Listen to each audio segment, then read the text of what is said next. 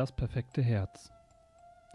Eines Tages stand ein junger Mann mitten in der Stadt und erklärte, dass er das schönste Herz im ganzen Tal habe.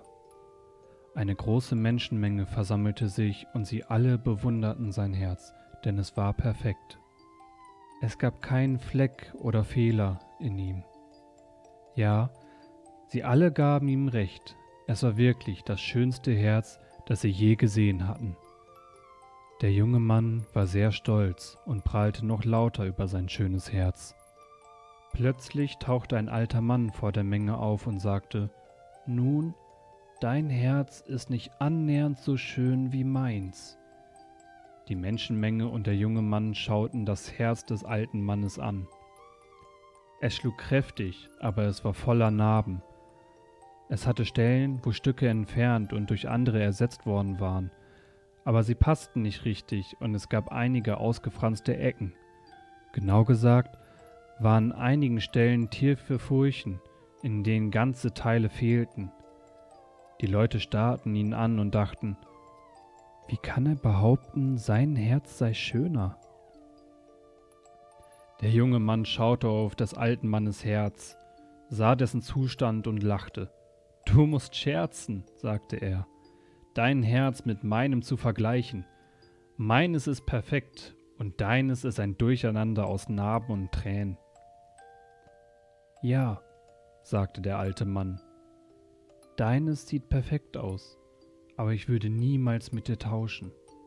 Jede Narbe steht für einen Menschen, dem ich meine Liebe gegeben habe.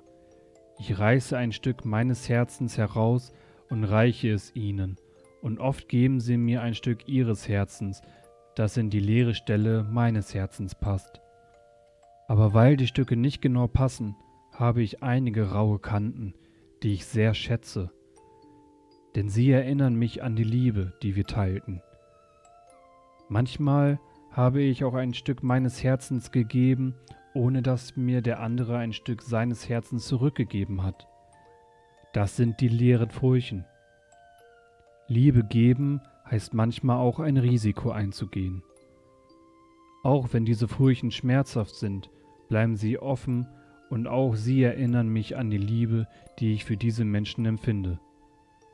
Ich hoffe, dass sie eines Tages zurückkehren und den Platz ausfüllen werden. Erkennst du jetzt, was wahre Schönheit ist? Der junge Mann stand still da und Tränen rannen über seine Wangen. Er ging auf den alten Mann zu, griff nach seinem perfekten, jungen und schönen Herzen und riss ein Stück heraus. Er bot es dem alten Mann mit zitternden Händen an. Der alte Mann nahm das Angebot an, setzte es in sein Herz. Er nahm dann ein Stück seines alten, vernarbten Herzens und füllte damit die Wunde in des jungen Mannes Herzen. Es passte nicht perfekt, da es einige ausgefranste Ränder hatte. Der junge Mann sah sein Herz an, nicht mehr perfekt, aber schöner als je zuvor, denn er spürte die Liebe des alten Mannes in sein Herz fließen. Sie umarmten sich und gingen fort, Seite an Seite.